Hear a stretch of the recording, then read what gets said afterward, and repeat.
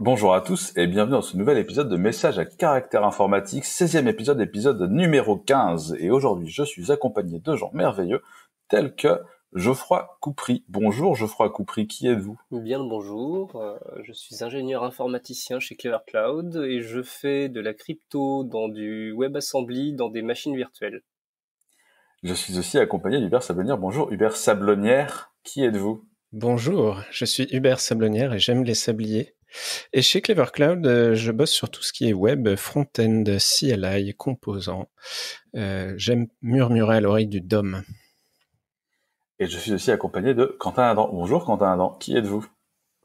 Bonjour. Euh, bonjour, je, chez Clever Cloud, moi je dirige la boutique. Je suis CEO chez Clever Cloud. Du coup, je m'occupe de plein de trucs.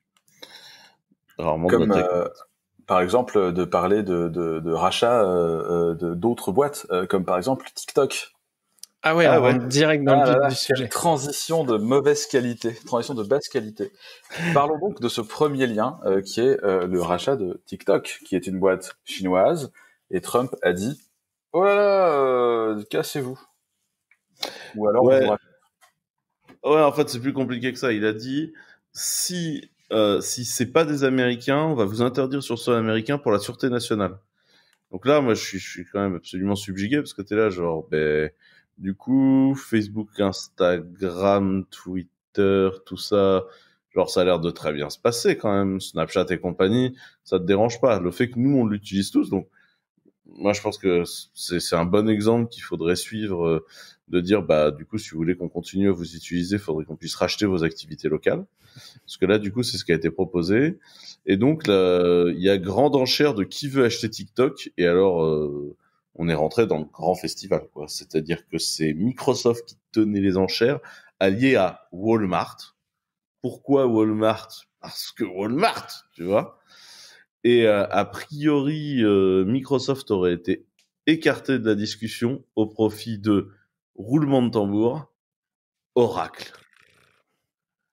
Et alors, qui, euh, comme tout le monde le sait, a moins de parts de marché cloud que Microsoft, et donc peut-être se chercher son premier gros client, donc ils l'ont acheté. Ouais, mais enfin, Oracle en train de faire du social, j'avoue que c'est quand même. Oui, et c'est pas Yammer, c'est TikTok, quoi. Ouais, c'est ça. Mais c'est surtout que Yammer, ça a été racheté par Microsoft. Oui, non, mais ce que je veux dire, c'est que c'est beaucoup moins euh, Enterprise et euh, ceinture bretelle et c'est beaucoup plus euh, un peu fun et gens, quoi.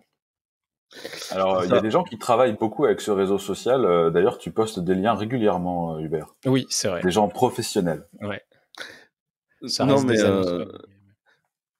Alors, c'est drôle. Ceux qui ce qui est très très drôle dans cette opération, c'est qu'en fait la maison mère de TikTok, donc ByteDance, a dit euh, par contre, autant on veut bien vendre nos opérations aux États-Unis. Par contre, il est hors de question que notre algorithme de recommandation sociale on le file. Et donc dans l'opération, l'organisme qui va racheter TikTok aux États-Unis va devoir se réimplémenter l'algorithme social. Et du coup, ça veut dire que les gens qui doivent l'acheter doivent avoir une petite idée de comment on fait de la mise en reco social. C'est pas, enfin, c'est pas un modèle si simple que ça de faire perdre leur temps sur euh, des gens sur des écrans, hein, parce que enfin c'est c'est quand même ça le, le modèle de ces plateformes là, c'est que tu y passes beaucoup de temps, c'est de te capturer ton temps. Et donc du coup, je suis en train d'imaginer en fait les réunions euh, des gens de chez Oracle où euh, on va réaffecter des gens qui étaient sur la Aura 13413 erreur du JDK euh, driver, tu sais, de Oracle base de données, tu vois, en disant maintenant il va falloir faire un algorithme social, tu vois.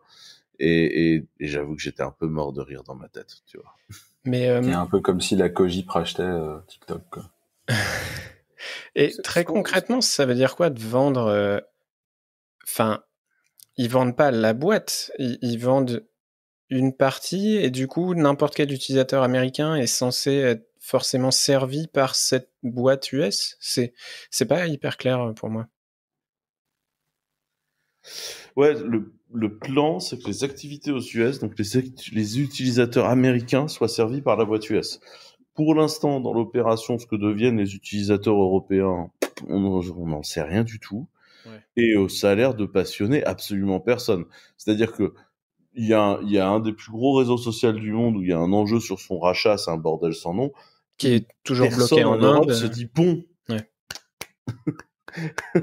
euh, alors nous, dans cette histoire, non, ça intéresse personne. Donc, euh, donc le sort des utilisateurs euh, européens risque d'être décidé dans un contrat euh, glauque signé pas très loin du bureau ovale. C'est assez, enfin, assez intéressant comme histoire. On note parce que je pense pas qu'on l'ait déjà évoqué dans le podcast. Il y a quelques mois, beaucoup de d'utilisateurs de TikTok, notamment issus de, communautés fans de, K-pop, ont tous réservé des tickets à un, un rally, un, meeting euh, politique de Trump, ce qui fait que le stade était trois quarts, deux tiers vide, parce qu'en fait ils ont réservé des tickets, ils y sont pas allés. Après, j'ai aucune preuve, mais j'ai quand même l'impression que depuis cet événement, il est assez euh, omnubilé par TikTok. Il y, a, eu quelques, effectivement, quelques, quelques tweets sur. Euh, il se murmure dans les murs de la Maison Blanche que Trump n'était pas très content. Ouais. Il, était un peu salé là-dessus, mais surtout, ce qui a été drôle, c'était de voir euh, tous les grands médias euh, américains tout d'un coup se demander, mais c'est quoi la K-pop en fait Expliquez-nous. Qui sont ces gens? Ils vont voir les threads de gens qui sont fans de K-pop sur Twitter. Et alors, si t'as vu du drama dans ta vie, t'as jamais vu du drama de K-pop, quoi. Ouais les, les, autres bruits de couloir, euh, euh, Larry Ellison, donc le patron d'Oracle, va organiser un fundraiser pour la campagne de Trump. Et il y en a qui disent que bon, euh, peut-être qu'en temps normal il l'aurait pas fait, peut-être que voilà, on sait pas. Bruit de couloir, bruit de couloir. Euh, anyway. Bref, les États-Unis attaqués dans leur socialitude et qui, qui d'un seul coup se disent genre, eh mais en fait le reste du monde existe. Je trouvais ça amusant. Je trouvais ça très amusant. Et, donc en parlant des États-Unis attaqués dans euh, euh, quelque chose, la meilleure défense c'est l'attaque. Transition un peu pour encore une fois pour parler d'Nvidia qui va racheter euh, ARM. Nvidia boîte américaine, ARM boîte yes. britannique, ça? Britannique racheté par des Japonais. Ouais, en fait, Nvidia, enfin ARM, ça appartient essentiellement en fait à SoftBank, euh, SoftBank, c'est l'énorme fonds japonais sur la tech euh, qui a connu quand même pas mal de déboires, hein, vu que les, lignes SoftBank, c'est euh, c'est en fait c'est toutes les grosses boîtes tech qui perdent de l'argent, les Uber, les Deliveroo, les tous ces machins C'est ceux qui étaient à fond derrière WeWork aussi. Hein. C'est ça, avec euh, Summum chez WeWork, c'est euh, c'est c'est Satoshi machin truc, c'est non je sais plus comment il s'appelle le, le le, le mec qui a la tête de SoftBank qui a dit euh, qui a dit au patron de WeWork qu'il faut que vous fassiez plus fou, plus insensé. Et après WeWork a cramé 18 milliards pour faire une boîte qu'on vaut 8. Par contre, Quentin, si tu pouvais travailler ta prononciation de Uber, qui n'a juste rien à voir avec mon propre prénom, s'il te plaît. Oui, mais quand je viens dans le Nord, c'est toi qui conduis. Ouais, c'est vrai. Euh, anyway, euh, recentrons-nous sur euh, Nvidia et ARM, s'il vous plaît. Ouais, qu'est-ce que ça veut dire? Parce que moi, par exemple, je suis développeur web et je n'y comprends rien aux microcontrôleurs et aux puces. Ah, tu, non, c'est pas vrai. Tu peux faire du WebAssembly euh, pour, euh, pour tester ton GPU dans ton navigateur et faire tourner du NVIDIA. Oui, mais je connais rien non plus. Le, point, c'est de comprendre d'abord ce qu'est ce qu'est ARM. En fait, euh, vous avez Intel. Intel, ils font des designs de CPU et euh, il est, il est, enfin, il les fabrique et il les vend. Une boîte qui fait toute l'intégration mais en fait, c'est assez rare dans l'industrie du, du, microcontrôleur ou, du, ou du, du, contrôleur un peu plus intelligent. En fait, vous allez avoir en général euh, des, enfin, des, des, gens qui vont avoir un boulot qui est de faire les spécifications du truc. C'est le, c'est le, l'instruction set architecture, ça s'appelle dans, dans le métier, mais globalement, c'est les specs du, de la puce. Ensuite, les specs de la puce, et en fonction de tes différents besoins, bah, tu vas faire passer dans une moulinette, euh, c'est le vrai design de la puce. Par exemple, tu fais une puce ARM destinée à aller, par exemple, dans un téléphone portable, ce qui n'est pas le cas de, toutes les puces ARM. Hein. Tu peux avoir euh, des puces ARM qui font autre chose. Euh, par, exemple, dans le Maker, c'est une puce ARM. Le, le, le, contrôleur de chez ST Microelectronics qu'on met le petit F411, qui est un contrôleur à 1,17$, hein, donc c'est pas un microcontrôleur très cher. En fait, c'est une puce ARM, c'est un jeu d'instruction ARM. Pas les dernières versions, etc., mais c'est un jeu d'instruction ARM. Et en fait, tu vas prendre ton bout d'ARM et tu vas l'intégrer. Et par exemple, euh, tu vas mettre euh, des instructions de détection de, de, lecture du média pour que si tu lis des médias sur YouTube, en fait, euh, décoder les médias, ce soit hyper rapide. Euh, ce qui n'est pas nécessairement fourni à la base dans, dans l'arme. Tu vas faire des, des jeux d'instructions supplémentaires à toi, et c'est le design, et c'est ton besoin, c'est ton downclocking, et c'est etc. C'est ce qui te permet de faire euh, une puce qui est efficace pour ton use case. En général, ça passe par là. Donc Mediatek c'est quelque chose, Samsung est exactement autre chose, et après c'est fabriqué. Donc il y a des gens qui vont graver comme c'est compliqué de graver du silicium, de faire les, transmetteurs, etc., et que ça se fait dans des salles blanches, et que ça coûte une fortune, et qu'en fait, même si tu fais ça full time, euh, c'est compliqué déjà de vivre, parce qu'en fait, c'est vraiment un, enjeu industriel extrêmement cher. Euh, en général, euh, il y a quelques gros constructeurs qui gravent pour tout le reste. Et en fait, tu vas avoir pendant deux mois, tu produis un truc, et après, tu recalibres toute la salle blanche pour produire une autre puce ou un autre capteur, euh, tu fais des stocks, tu recalibres toute la salle blanche, tu reproduis quelque chose. C'est un milieu, la microélectronique, qui fonctionne beaucoup par batch pour ces raisons-là. Et là, par exemple, le gros fabricant de puces ARM, c'est TSMC. Samsung le fait aussi, mais Samsung ils font tout, donc enfin c'est Samsung ils intègrent un peu tout pour leur truc. Et après tu vas vers l'intégration. On rappelle que Samsung est un des plus grands vendeurs d'armes du monde. Ouais, ça je savais pas. Entre autres. Non, mais tu vois, c'est des trucs, on, ils font vraiment tout, quoi. Ouais, ils, ils, font beaucoup de trucs, Samsung. Samsung, en Corée du Sud, c'est 40% de la population active qui bosse chez eux, 30% du PIB national. Enfin, c'est un peu plus d'un tiers du PIB national. Je crois que c'est 35%. C'est la DIT Samsung en Corée du Sud. C'est surtout, vous imaginez gouverner un pays dans lequel il y a une boîte qui te fait 35% de ton PIB et qui emploie 40% des gens employables. Ouais, c'est impressionnant. c'est les, les, relations entre le gouvernement et la boîte doivent être tellement chelou. Et quand tu es là-bas, t'as écrit Samsung partout. il y a plein de trucs. Je pense, il y a marqué Samsung sur plein de trucs. c'est le produit. Enfin bref, toujours est Donc ça, que... c'est Intel. Ouais. As, et t'as expliqué enfin, ça, les, les. Euh, et ouais. Ce que fait ARM, c'est l'instruction euh, 7 architecture. C'est vraiment le, les instructions 7 architecture. Donc en fait, c'est un petit bout de ce qu'il faut faire pour faire une puce. Par contre, c'est un petit bout qui est spécifié et qui en fait du coup bah, recolle vachement avec les morceaux de code qui sont eux euh, faits pour que ça tourne. Et donc c'est un point qui est important. Et ce que fait ARM en fait, c'est qu'ils font des instructions 7 et ils aident au design et à l'intégration. Et, euh, et en fait, ça, ils le vendent. Donc quand c'était un petit bout qui est globalement dans toutes les puces de tous les mobiles euh, quasiment euh, du monde, en particulier euh, en Chine. Ouais. Ouais. Dans beaucoup de mobiles, parce que finalement, quand tu fais du, non mais quand tu fais de l'Apple, t'as aussi une puce ARM. Les A17 et compagnie de chez, enfin les A14 de chez Apple, c'est du ARM. C'est juste qu'il y a d'autres trucs dedans, parce qu'ils ont leur propre boîte de design et leur propre fondeur. Mais c'est Apple, c'est un autre sujet. Mais si ouais. tu veux, du coup, du ARM, en fait, t'en as des chiés partout. C'est pour ça que ça angoisse un peu tout le monde, parce qu'en fait, ARM a toujours eu une politique de vente à tout le monde euh, de, de, de, tout ça. Et donc, en fait, c'est pour ça que ça pourrait être extrêmement... Enfin... Euh, en fait, c'est un peu ce qui est dit dans le, dans le lien que j'ai mis, euh, donc j'en parlais avant toi vite fait. Le lien euh, s'intitule euh, Nvidia by ARM, point d'interrogation, don't count on it. Donc ne comptez pas là-dessus. En fait, euh, de par ce côté euh, des armes, il y en a partout, ça commence à faire flipper tout le monde.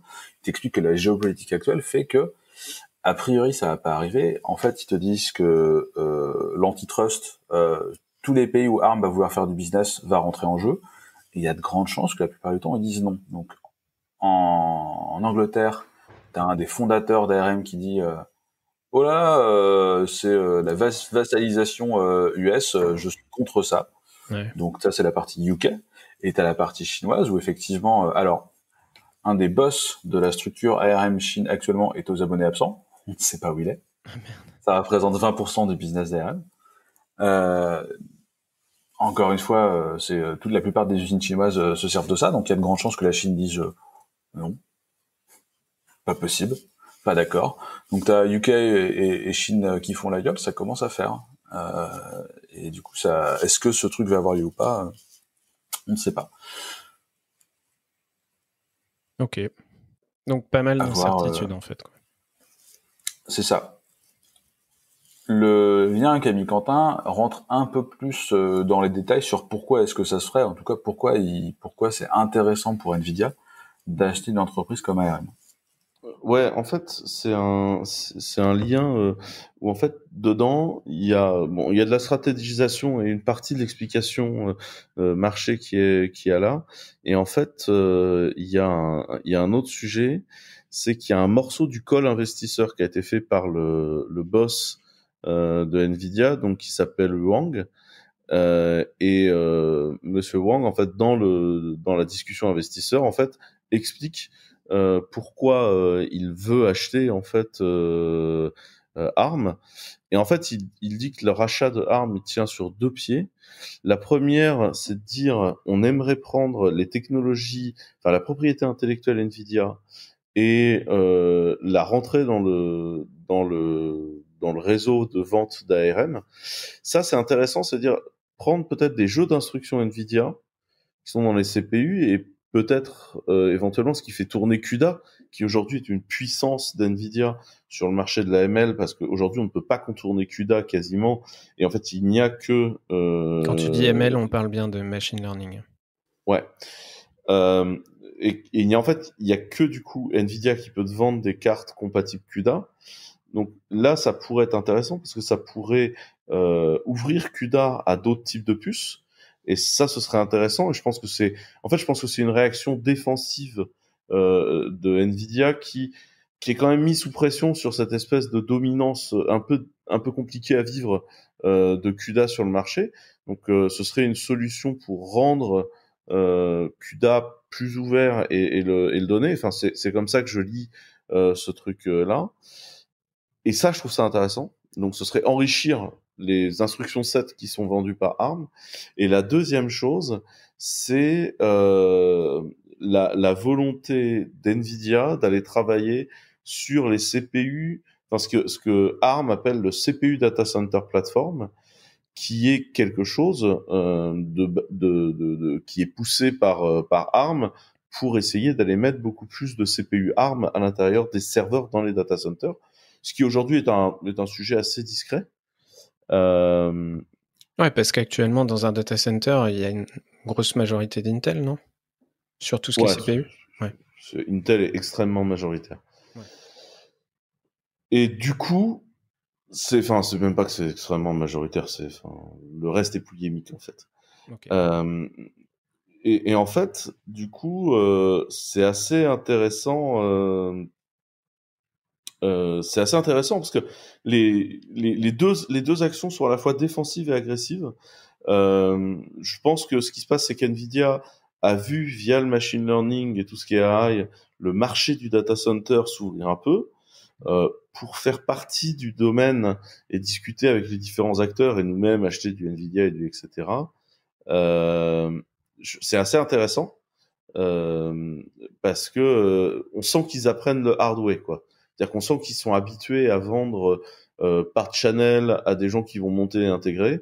Et euh, quand ils arrivent dans l'écosystème euh, de la vente B2B, on, on, sent parfois chez eux que c'est des choses qui se mettent en place. Mais ça veut dire qu'ils ont envie d'aller à fond dans ce marché-là. Et je trouve ça intéressant. Donc voilà, j'ai trouvé que c'était intéressant de mettre le pourquoi on veut l'acheter. J'ai pas nécessairement de jugement à faire dessus.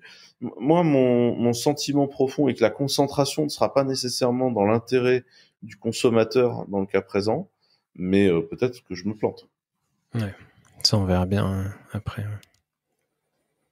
Wait and see. Euh, nous en sommes à 10 minutes par lien. Chers camarades, je propose de s'activer un peu.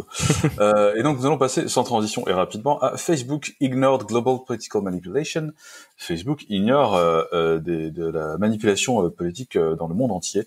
C'est-à-dire de Quentin Adam. Et ça parle d'ingérence chez Facebook. C'est un article de BuzzFeed qui continue à sortir des trucs... tout le monde a l'idée que BuzzFeed, c'est des top 10 et des conneries, mais il continue à sortir des trucs assez intéressants.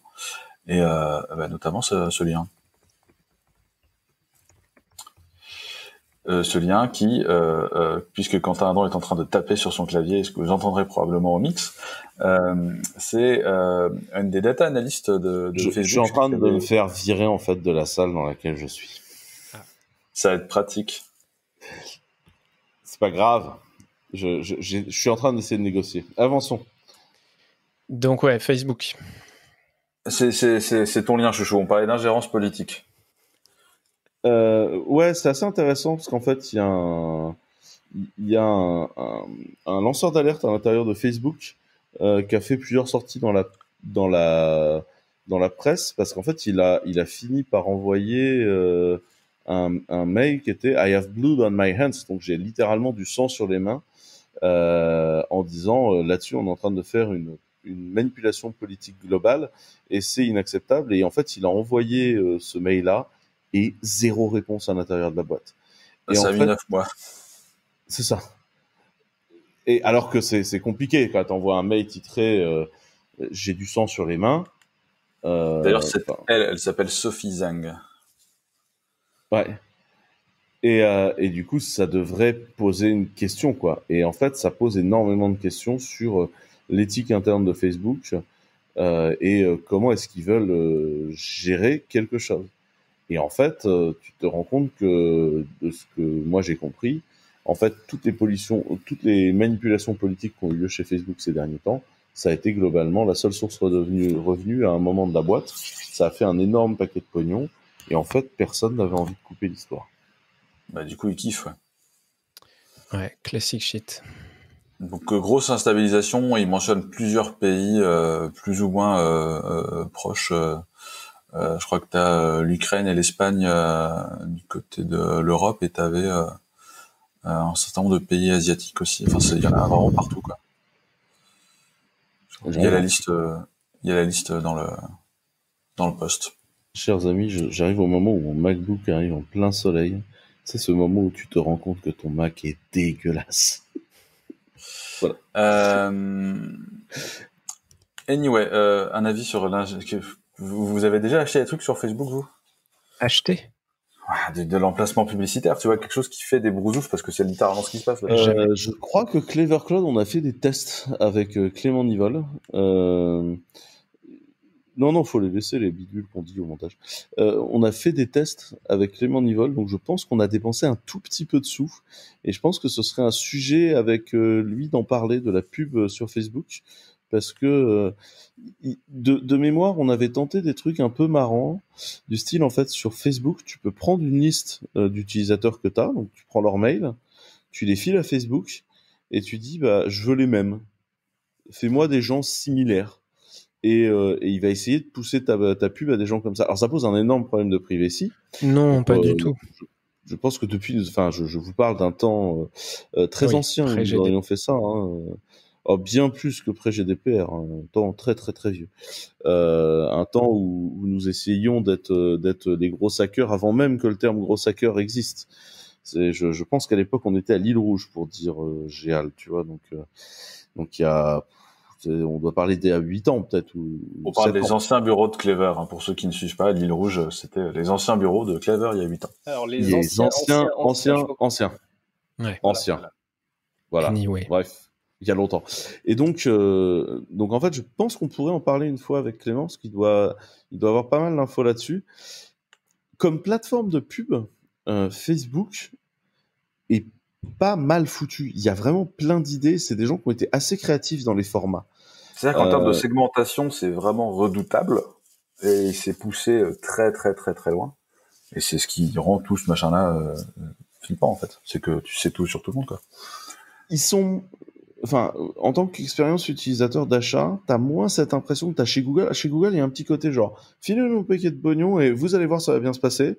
Et puis quand tu regardes dans les cheveux, tu vois, t'es tes, budgets limites sont toujours vidés en fin de mois et tu as eu une augmentation brusque du nombre de trafics visités qui, qui correspondait à ce dont tu avais besoin en fin de mois. Enfin, tu as, toujours des trucs où je suis un peu genre, je me pose de sincères questions des fois avec Google et c'est d'ailleurs pour ça qu'on a suspendu tous nos budgets pub euh, chez Google, euh, euh, chez Clever, on en a plus et en plus on supprime Google Analytics et Analytics tu es obligé de l'avoir. Et en plus c'est très intéressant parce qu'en fait, comme Analytics est à la fois juge et partie puisque c'est avec Analytics que tu juges le trafic que Google t'amène euh, est parti, donc le trafic que Google t'a amené, c'est assez intéressant. Et quand tu te mets un autre système d'analyse, c'est des fois assez intéressant parce que la même visite vue par Google et vue par euh, ton propre système de détection d'IP, t'es pas toujours pareil. Quand par exemple, tu as euh, un trafic délirant qui vient de ta pub, qui vient d'Iran, alors que tu avais spécifiquement demandé à ce qu'on t'envoie pas de trafic iranien. Bref, il y a des sujets avec Google. En tant que plateforme de pub, Facebook est assez intéressant. Pour autant, ça force souvent des gros problèmes euh, de privacy. Et en fait, c'est très dommage parce que tu pourrais, je pense que tu pourrais faire le business de Facebook sans aller euh, coucher avec la manipulation politique et sans aller euh, faire des choses ignobles euh, comme ils le font, alors que, euh, en fait, ils ont suffisamment d'audience pour être capables, à mon humble avis, de Oui, faire de- de la pub euh, éthiquement acceptable, je pense. Ouais, en restant de la Là, pub dans- ciblée qui, fait, qui est rentable, quoi. Dans, dans le sujet là, c'était pas que de la pub. C'est-à-dire que ce qu'elle, ce qu'elle disait, c'est qu'elle trouvait des réseaux de centaines de milliers de, de bots qui étaient là à poster constamment des trucs euh, sur euh, tel ou tel euh, candidat politique. Et Ouais. ce qui était terrible, c'est que c'était à elle euh, qui était un tout petit euh, un tout petit élément dans la grosse machine Facebook de prendre une décision de bon bah est-ce qu'on va essayer de mettre les mains dans la politique de ce pays-là ou en, fait non trop de taf là. C'est quand même quelque chose de, catastrophique et Facebook, euh, il y, a, Zuckerberg qui a été convoqué devant le Congrès, je crois, une deux fois, justement pour ce genre de questions de mais euh, qu'est-ce que vous faites vous par rapport euh, à la politique, par rapport à l'influence que vous avez? Et euh, ils ont toujours eu une approche de bah oui, mais bon, c'est pas vraiment nous, mais on veut quand même garder cette influence, mais mais c'est pas notre faute quoi. Ouais, c'est ça. C'est si tu rentres dans l'ingérence politique pour de vrai, c'est c'est bah, c'est ouf. Ça devrait pas arriver. Bref. Anyway, euh, passons au lien suivant en parlant d'ingérence et de politique. Ah, j'aime j'aime bien ce ce début de conf, conf, ce début de Sur- podcast. Euh, c'est essentiellement tes liens, hein, je, je, je, je te rappelle. Ouais, je te dis Euh, pas le contraire.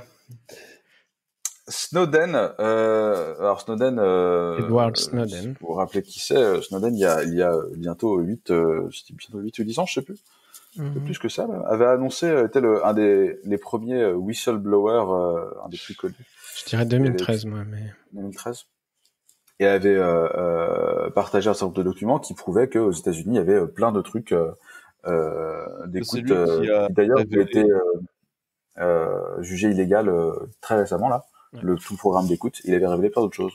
Oui, sauf qu'en fait, entre-temps, ils en ont lancé 14 autres programmes d'écoute. Mais bon, tout va bien. Mais c'est lui qui a révélé Prism et c'est lui qui a révélé qu'effectivement, euh, on, on était massivement espionné par les services de la NSA. Et en fait, euh, le, le, le, le chief, euh, enfin le chef de ces écoutes-là, euh, la personne en charge qui a créé ces départements de ces écoutes-là, vient d'être embauché. Donc c'est un ancien de l'armée américaine et de la NSA. La NSA. Et il vient d'être embauché de façon très casually par Amazon Web Services. Après, c'est c'est complètement dans le titre. hein. Le truc s'appelle National Surveillance Agency de mémoire, donc euh, effectivement, tu savais que. Ouais. Et bref, c'est le patron de, de. Il fait quoi chez, chez Amazon, tu disais? On sait pas trop. Il vient d'être embauché, sa fiche de poste n'est pas révélée, donc on sait pas. Il y a tout Il le est monde qui livreur. se vend de la... Il, Il y a a tout le rejoint le monde board qui- en fait. Il est Ouais. employé, il est au board. Ah, moi j'avais j'avais lu qu'il avait été employé, moi. Bah, c'est ce qui est marqué dans l'article as joined Amazon's board as a director. Donc il n'est pas employé employé là là-dedans, hein, mais il aura probablement une certaine influence sur la boîte. Ouais. Comme le monsieur s'appelle Alexander, tout le monde se fout de sa gueule en disant que c'est euh, Monsieur Alexa, euh, le Ouais. futur Monsieur Alexa, ce qui tombe bien, n'est-ce pas? Puisque euh, Amazon s'est déjà fait gauler en disant non, ça écoute pas. Ah, en fait, si. Je, trouve que donc, euh, c'est un choix, euh, c'est un, c'est un choix extrêmement discutable euh, de la part. Enfin, je, je comprends pas très bien pourquoi, euh, pourquoi ils font ça. Enfin, Euh, moi j'aurais peut-être une idée, mais alors c'est vraiment de la de l'hypothèse. Amazon a... Oui, je suppute, exactement. J'allais, fax- J'allais le dire, mais voilà. Euh, Amazon a sorti euh, une longue lettre récemment euh, pour se plaindre que le, le gouvernement avait choisi, je crois c'était Microsoft, pour un gros contrat, et que c'était vraiment pas juste. Voilà, c'était vraiment pas juste du tout, mais pas gentil, gentil, gentil de la part du gouvernement et que en se mettant ce mec-là au board, ils obtiennent certains accès au gouvernement, armée, NSA, etc. pour des gros contrats derrière. Moi, je pense que c'est juste bassement monétaire derrière. Hein. Ah bah très certainement. Après, si tu veux, euh, enfin, c'est la fameuse histoire des doubles portes euh, aux États-Unis où les gens font des allers-retours entre le public et le privé en permanence. Et là, fondamentalement, là où déjà chez Amazon, il y a quand même chez tout le monde autour d'Alexa on va dire, une légère angoisse. Là, il y a un côté, tiens, tenez, voilà le bâton, on va se mettre cul nu, taper. C'est quand même complètement con, quoi, tu vois. Et donc, en parlant de double porte, est-ce que c'est pas le moment de faire une dédicace à Édouard Philippe? Ah ah Parce que chez Clever, on a essayé de recruter Édouard Philippe. Non, je déconne. Mais il a préféré aller chez Atos, exactement. Voilà, il est au bord de... Enfin, je crois que c'est ça, il, est, il, est, il, a un poste de, conseiller spécial chez Atos. Euh, oui, il rejoint le board d'Atos. Atos, c'est une boîte prestigieuse où on a un ancien commissaire européen qui a dirigé la boîte depuis longtemps et, à présent, nous avions un ancien Premier ministre, Doudou chez Atos. Mais voilà. il y connaît quelque chose. Enfin, je sais pas, moi, il y a besoin d'y connaître quelque chose pour être un board de ce genre de truc? C'est très naïf, hein, mais c'est une vraie question. Alors, être à la board de ce genre de boîte, c'est quand même essentiellement de la décision de réseau, de gestion. À la base, Edouard Philippe, il vient du privé. Il était lobbyiste pour euh, Orano. Euh, enfin, avant que ça s'appelle Orano, ça s'appelait. C'était pas. Il y avait pas un truc avec Veolia ou non? Non, non. Euh, il a fait Veolia, mais je crois qu'il a fait surtout nucléaire, à ma connaissance, Edouard Ah oui, ouais. Orano, c'est la filiale de le truc que dirigeait. Bref. Notez la préparation fondamentale de ce podcast. Non, mais attendez, on demande non, le pédigré politique des hommes politiques. Euh, on aurait demandé de lire des librairies JS. Euh, je me serais dit qu'Hubert allait préparer. Euh, donc, du coup, non, on y vient. C'est une bouteille. En fait, à ce niveau-là, tu as plutôt des gens qui vont faire du réseau, prendre des, décisions de, décision, de, etc. Le problème est justement qu'il n'y a jamais d'ingé dans le genre de truc. Et donc, du coup, tu as des fois des, des discussions qui n'ont même pas de sens en tant qu'ingé on va pas parler de la 5G, mais typiquement, on est dans ce cadre-là. On est dans le cadre de décisions qui sont prises où tu ne discutes jamais avec un AG qui pourtant aurait pu te dire euh, mais de quoi est-ce qu'on parle là? Ça n'a pas de sens votre question. donc voilà, c'est ça. Ce qu'on appelle aussi le point Jean Covici. Et donc la transition. Ne, parlons pas de la 5G, on fera un épisode spécial. Non, non, non, on, invitera les bonnes personnes. Un épisode ah, le point Jean c'est juste pour les ingénieurs contre les sociologues. C'est juste ça. Euh, et on passe au lien suivant peut-être, puisque ça, on continue à parler du gouvernement Macron. Oui. Absolument. Le gouvernement Macron qui, euh, euh, c'était quand C'était hier Hier. Avant-hier, je ne sais plus. donc le 15 septembre. a dit, a dit, et alors là j'ai mis un lien exprès, pas français, c'est Reuters, l'agence de presse anglaise, qui a dit nous avons perdu la bataille globale du cloud computing. Quand il dit nous, il, parlait implicitement de la France ou il parle plus globalement de l'Europe? Je me souviens plus. Je pense qu'il parle de tout ce qui n'est pas GAFAM. Ouais, enfin, il parlait. En fait, il était. Donc lundi soir, il était, il recevait à l'Élysée euh, les ambassadeurs euh, de France Digital, l'association. Euh, la, reconnexion du monde startup par. Non, mais c'est tous les ans. En fait, tous les ans, avant le French, le French France Digital Day, euh, il y a euh, bouffe à l'Elysée et euh, il y a il y a des gens qui viennent et c'est le summum de la French Tech. Donc tout ce qu'on aime dans la French Tech, les VC, les entrepreneurs sortis d'HEC, tout ça. Euh, fondamentalement, parfois il y a des ingés, mais arriver de faire partie de la bande de gens reçus, c'est pas nécessairement négatif. Après, euh, j'avoue que moi la sortie de Macron, euh, elle passe pas très bien parce que parce que d'abord il y en a qui se battent au jour le jour pour essayer de l'inverser cette courbe. C'est pas très agréable de se battre dans la boue en permanence sans support. On n'a pas spécialement envie de prendre un pied sur la tête en plus. Enfin, ça va, c'est déjà pas drôle au quotidien. Et ensuite, moi, ce qui m'énerve, c'est que la, bataille du cloud, elle est pas perdue. Je pense qu'en fait, les gens comprennent pas un truc essentiel. Il y a beaucoup plus de serveurs aujourd'hui qui sont pas dans le cloud, enfin dans les infra-cloud, que de serveurs dans des infra-cloud.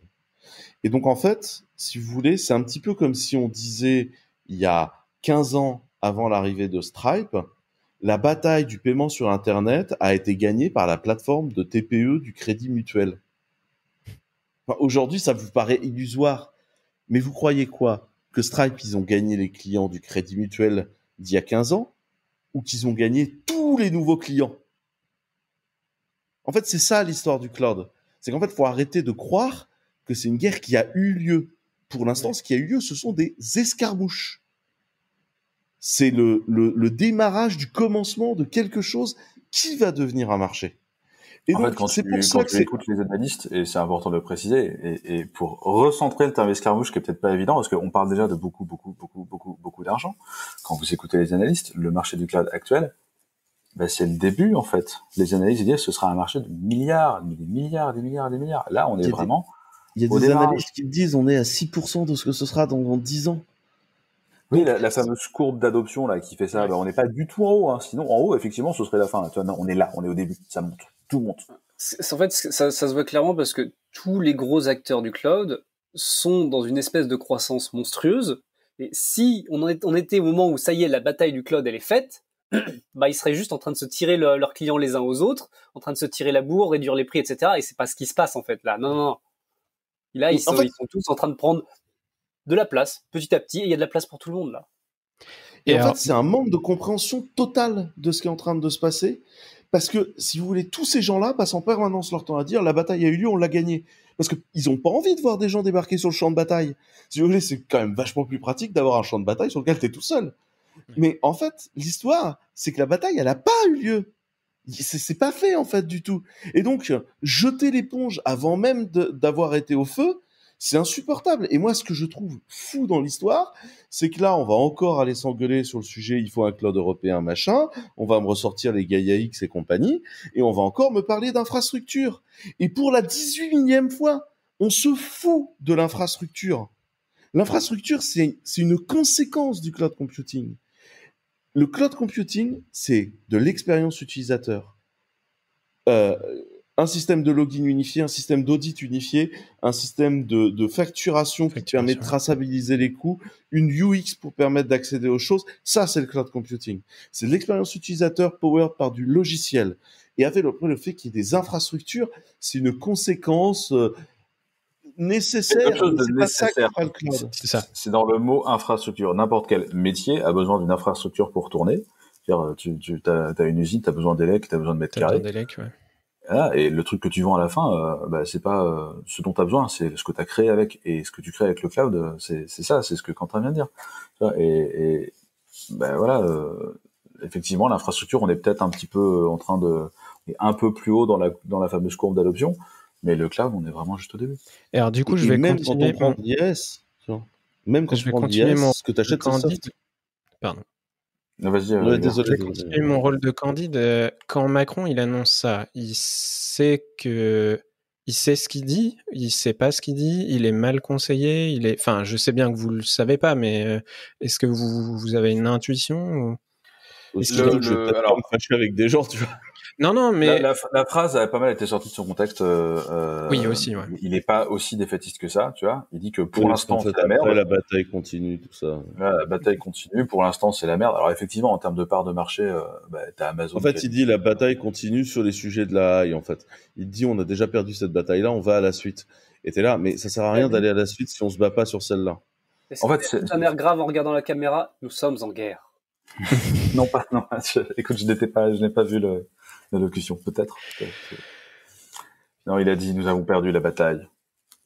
Le, le, le, fait de dire que tu as perdu la bataille du cloud et te relancer sur autre chose, c'est complètement con, parce qu'un des, un des intérêts principaux, un des problèmes principaux de cette bataille-là, mais c'est la gouvernance en fait. Et en fait, le fait d'avoir perdu la bataille, on s'en fout. C'est pas une question. C'est, c'est ouais, on est à la bourre. Il va falloir qu'on s'y mette, parce qu'il va falloir qu'on soit souverain, parce que euh, bah, c'est quand même critique d'avoir ta propre infrastructure cloud. Quand tu vois en plus à quel point les US et l'Asie se tirent la bourre, euh, euh, en Europe, on a, il nous reste qui? Il nous reste TMSC là, je sais plus. Enfin, il nous reste plus grand monde quoi pour faire des, pour être indépendant, tu vois, dans le cloud. Et donc le problème, le vrai problème, il est là. Avoir perdu en soi, on s'en fout. La question, c'est quand est-ce qu'on s'y met, tu vois, pour être un peu indépendant.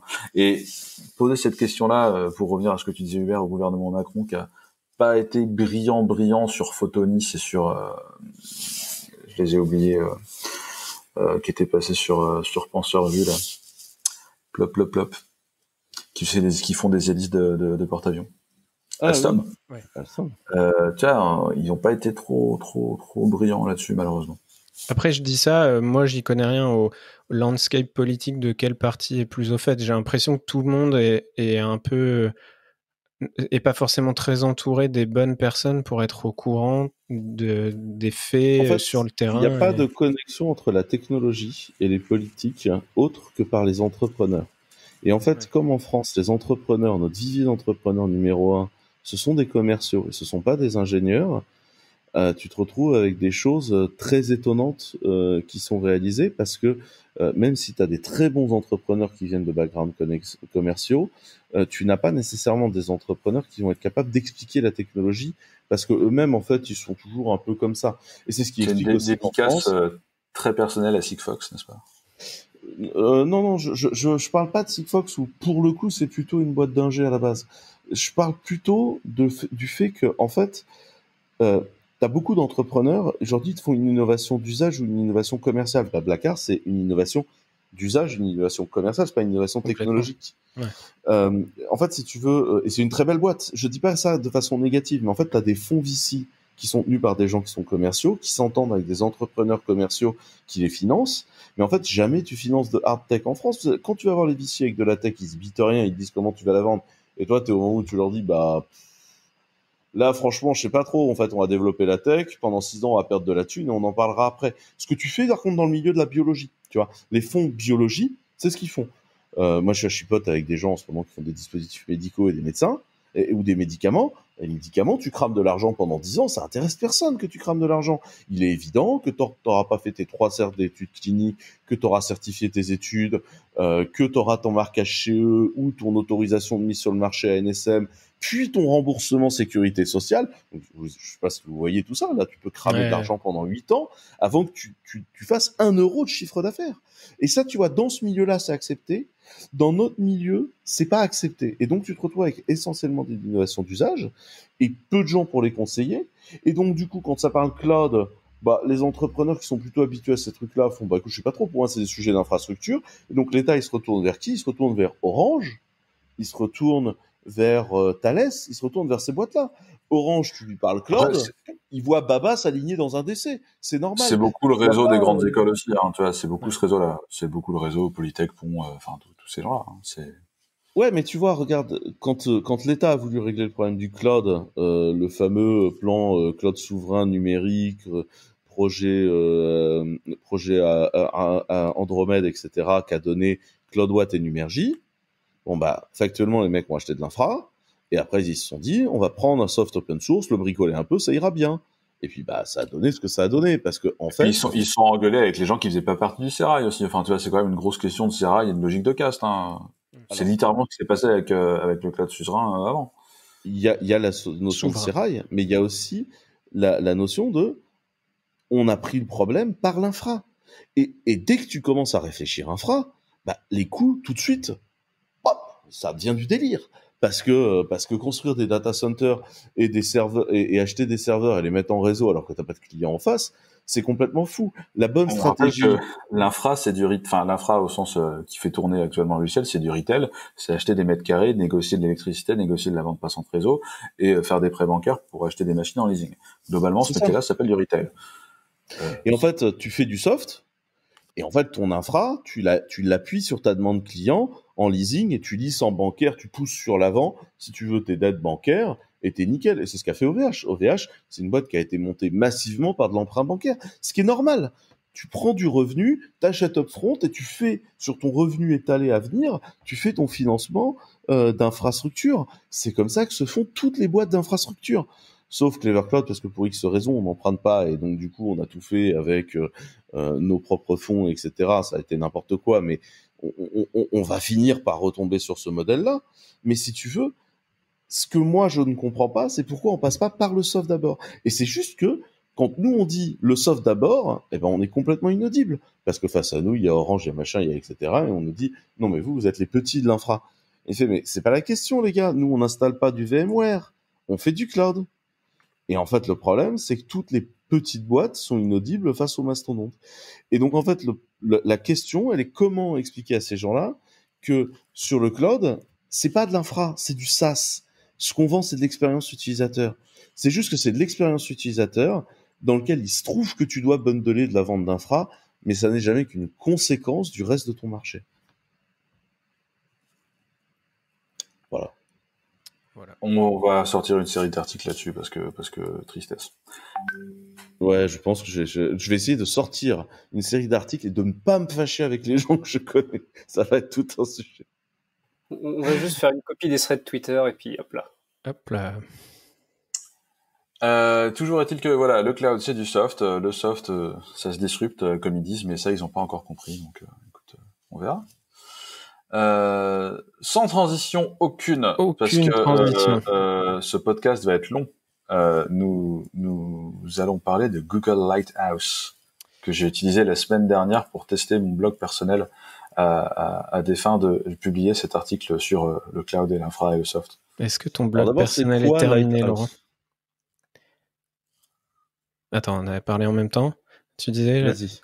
Non, toi tu, toi, tu charriais Laurent, donc je te laisse charrier Laurent et après je repars sérieux. Je, vais le publier avant ton blog, c'est promis, Hubert. Je, je t'attends. Ils sont à la bourre en fait pour savoir qui va sortir son blog perso le premier. Et en fait, moi, je suis le troisième concurrent qui ne se déclare pas et je pense que je vais griller tout le monde sur la ligne d'arrivée. C'est assez euh... Ce qui se passe autour de Lighthouse et autres. Hein. Des gens qui se tirent la bourse sur des trucs pas importants. Ouais, c'est vrai, c'est pas mal. Ça, c'est une bonne transition.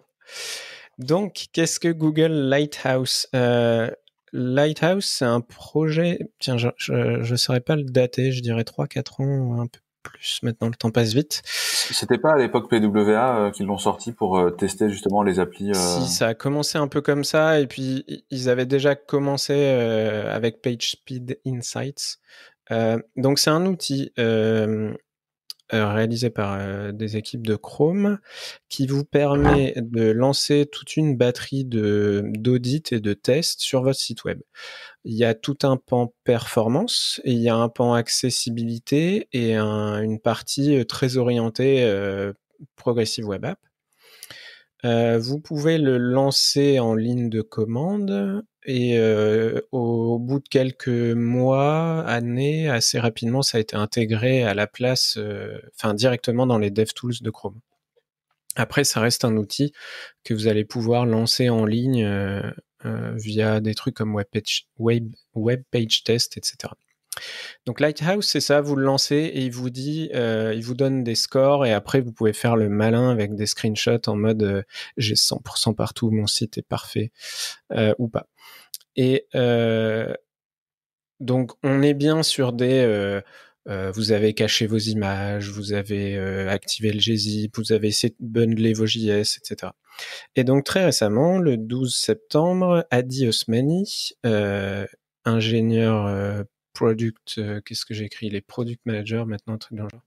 Engineering manager chez Google, assez connu chez Google depuis quelques années partage un tweet et nous dit que maintenant euh, Lighthouse, dans les différents audits euh, qu'il propose, va vous pousser à, alors c'est ma traduction de son tweet, préférer des librairies à équivalence fonctionnelle plus petites pour réduire la taille du bundle et améliorer les perfs. L'exemple qu'il y a dans son screenshot, c'est euh, Là, vous êtes en train d'utiliser Moment.js, donc euh, on va dire la librairie de manipulation et d'affichage euh, conversion de date la plus connue dans le monde JavaScript. Vous êtes en train d'utiliser Moment.js, euh, c'est trop gros, ça va tuer vos perfs. Du coup, vaudrait mieux utiliser Day.js, DateFNS, Luxon, il y en a plein. Enfin là, ils en suggèrent trois dans le screenshot.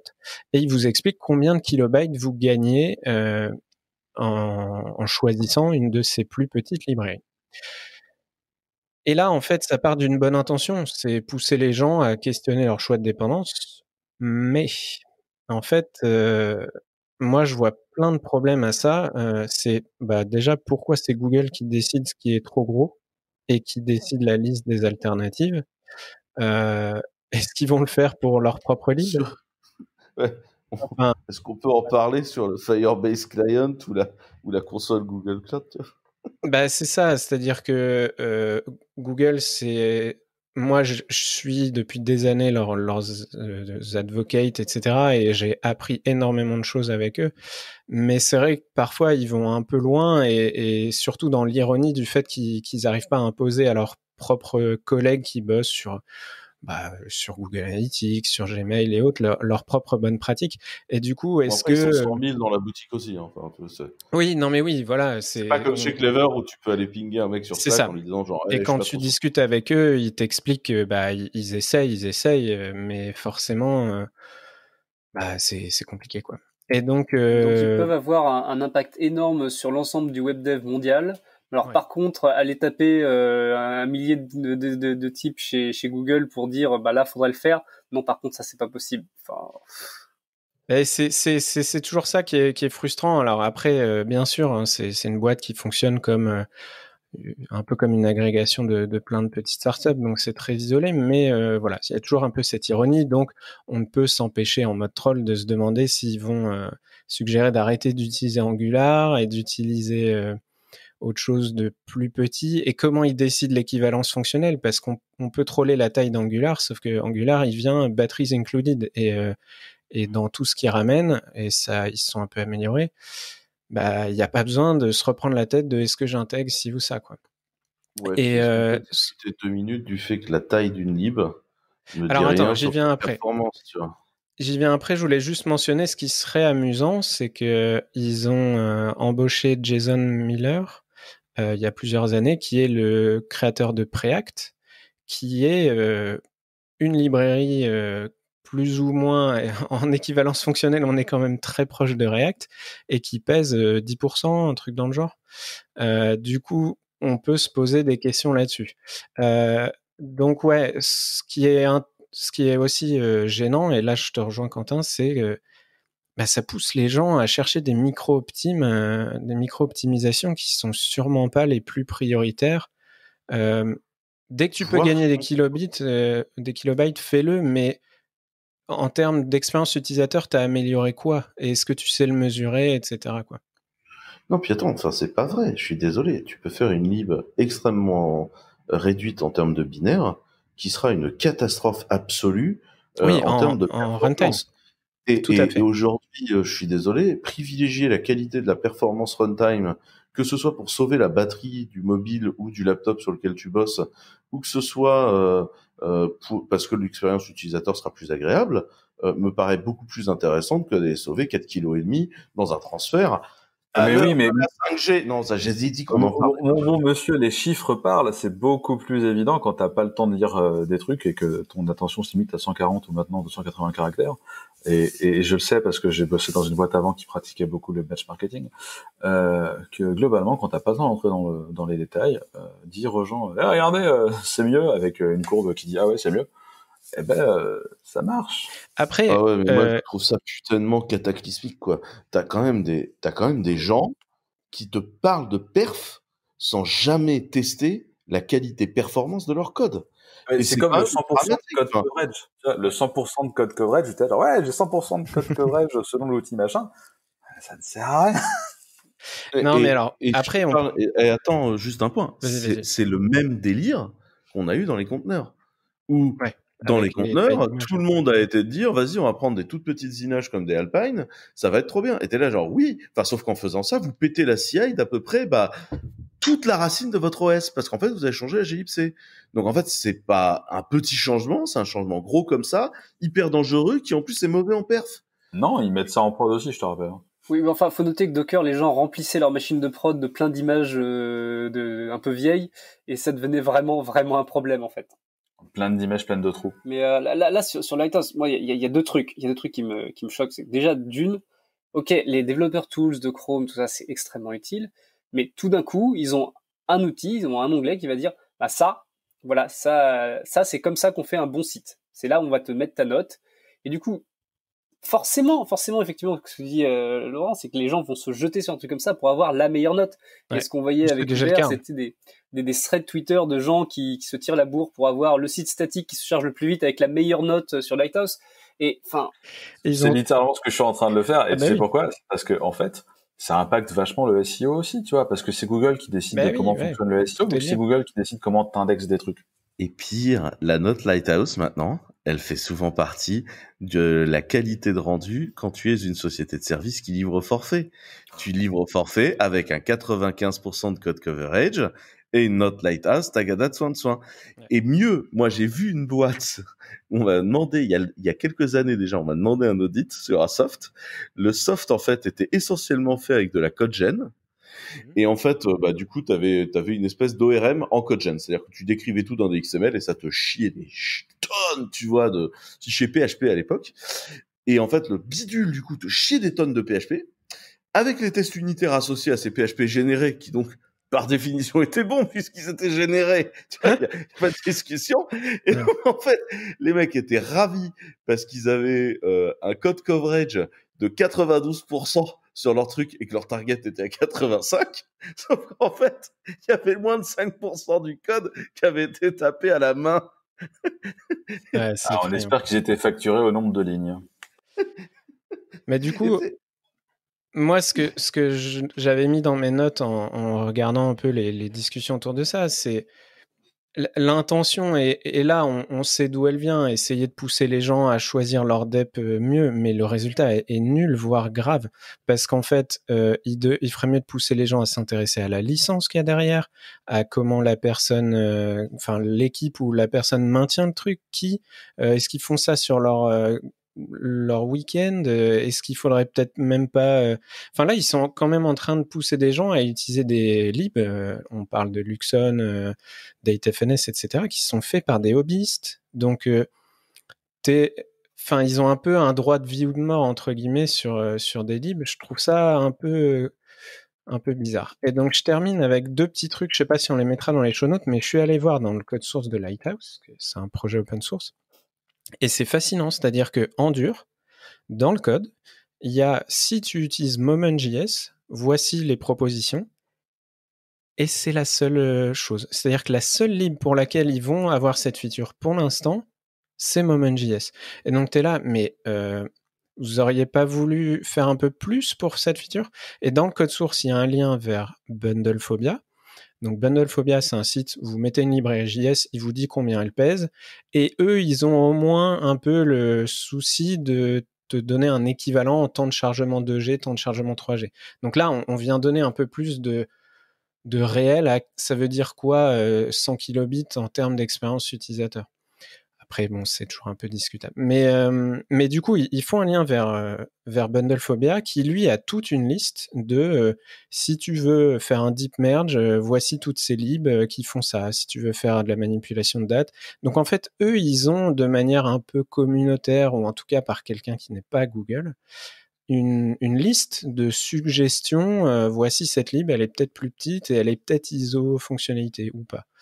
Et je comprends pas pourquoi de cette liste, qui référence dans leur propre code source, ils ont retiré que Moment en fait. Je comprends pas. C'est chaud que ce soit, enfin, tu vois, laisser à des gens la, la, la responsabilité de dire c'est ISO fonctionnellement ou pas, ça veut dire que tu as une vraie modération qui est en train de se faire, c'est-à-dire que tu as un vrai biais qui est en train de s'installer. Et du coup, c'est assez compliqué. Et puis t'imagines, tu, tu maintiens ta petite lib dans ton coin et tout d'un coup Google dit ouais bon bah alors c'est celle-là qu'il faut utiliser. Et bim. même pas voir l'issue tracker là, genre dans, dans l'heure dans qui suit l'annonce. Hein c'est infâme. Et toi, tu faisais ça un jeudi toutes les deux semaines euh, chez toi et bah, tu continues à faire ça un jeudi toutes les deux semaines et tu et puis voilà. Hein.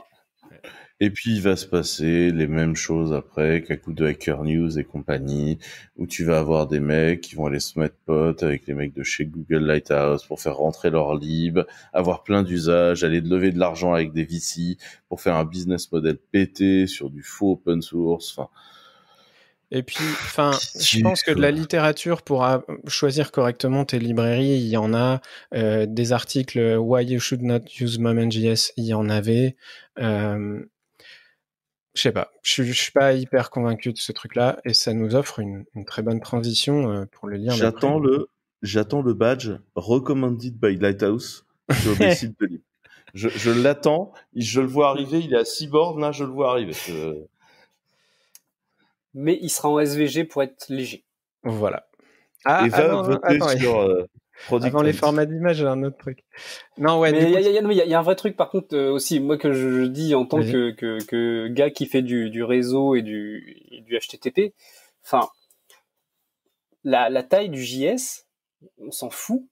On, s'en fout, mais vraiment, mais royalement, parce que c'est important au, au, premier chargement, effectivement, et si t'es sur une mauvaise connexion, de la 2G, etc., t'auras des lenteurs. Mais c'est un truc qui se met tellement, tellement facilement en cache que sur tous les autres appels, en fait, tu seras limité soit par les appels à ton API qui fait des requêtes SQL mal fichues parce que t'as pas tes index, etc. Donc en fait, tu vas taper tes 300 millisecondes, voire une à deux secondes de délai sur chaque appel d'API. Donc c'est là en fait que tu vas perdre ta perf. Et les gens qui se qui se paluchent sur des sites statiques en ce moment, bah ça ils le considèrent pas parce que c'est pas leur job. Et l'autre truc, c'est que bah en fait, euh, Alors, t'as les images et les images c'est lourd. Sur les, sur les scores Lighthouse des sites statiques, je te rejoins, on, s'amuse tous à avoir un super score alors qu'on a 10 readers ou, 200 ou bref. Par contre, la JS, quand tu fais un site e-commerce et que tu as 17 équipes marketing qui rajoutent chacun leur tag euh, un peu tout pourri, qui en général sont faits par des équipes qui n'ont pas le temps ou pas la priorité sur la perf, euh, t'en arrives vite à plusieurs méga JS. Je te laisse aller euh, sans utiliser Brave euh, sur la page de n'importe quel site de journal ou de e-commerce français. moi, j'ai fait des audits plusieurs fois dans, quand j'étais consultant. Sur la console de Google Cloud. Hein. Ouais. mais tu, non, je, vois sûr que c'est pire sur l'e-commerce. Et, et, et si, ça a un impact sur les perfs. Par contre, quand on discute de ah j'ai enlevé un kilo dans une de mes DEP en fait, moi, mon message, c'est surtout euh, aux gens, mesurer au bout de combien de temps l'utilisateur voit quelque chose, au bout de combien de temps il peut euh, interagir. Et là, Google Lighthouse et toutes leurs équipes ont des métriques qui brandent avec des acronymes, etc., qui sont euh, vraiment user-facing et qui, qui sont intéressantes. Mais voilà.